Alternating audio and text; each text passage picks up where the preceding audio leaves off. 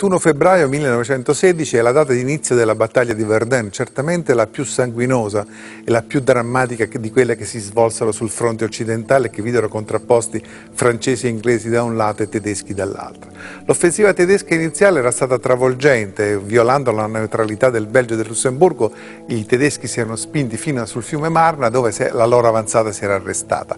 A quel punto la guerra si trasformò in una guerra di posizione, non più in una guerra di movimento e il fronte veniva ogni tanto rotto dalle offensive dell'una e dell'altra parte che cercavano, come dire, di violare la staticità del fronte e quindi sbaragliare le truppe nemiche. Verdun fu questo, fu l'ultimo tentativo delle truppe tedesche di sfondare le difese francesi. Verdun era un caposaldo strategico, era un nodo ferroviario, era molto importante nel sistema difensivo eh, francese. Ma, come dire, la battaglia divampò per mesi, si concluse soltanto mesi dopo, nel luglio-agosto del 1916 e vide coinvolti due milioni di soldati e alla fine si contarono un milione di morti. Sono cifre impressionanti che restituiscono però la realtà ultima della Prima Guerra Mondiale. Fu la prima guerra di massa della storia. Guerra di massa per i soldati impiegati, guerra di massa per i morti che si contarono. Il difensore strenuo di, eh, di Verdun fu il, il, maresciallo Petain, fu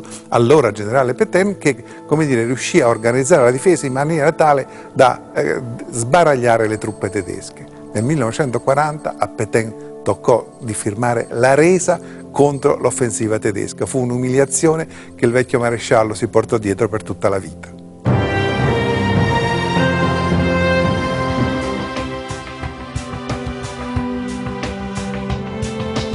Il giorno e la storia